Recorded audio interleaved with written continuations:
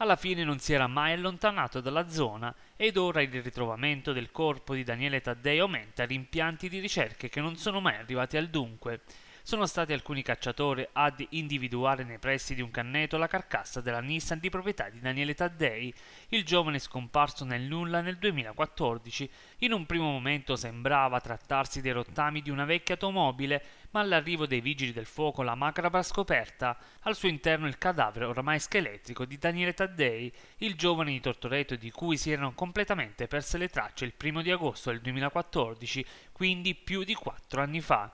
Sono stati i cani del cacciatore ad individuare la traccia e condurre i soccorritori in un punto particolarmente impervio del canneto, in località Terrabianca.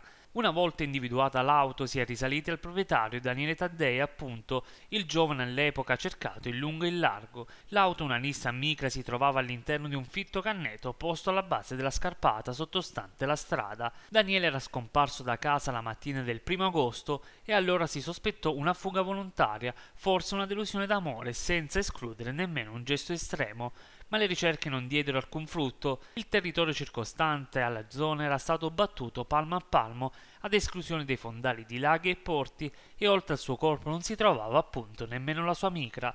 Le indagini portarono al sospetto che la sua vita poteva essere finita drammaticamente perché era uscito con appena 20 euro in tasca e il suo conto corrente era fermo, così come il cellulare di Daniele alcune ore dopo la scomparsa aveva continuato a squillare prima di spegnersi definitivamente. La cella agganciata copriva un raggio di alcuni chilometri fra Santomero, Mosciano Sant'Angelo e Bellante. Era in zona dunque vista la scoperta di ieri.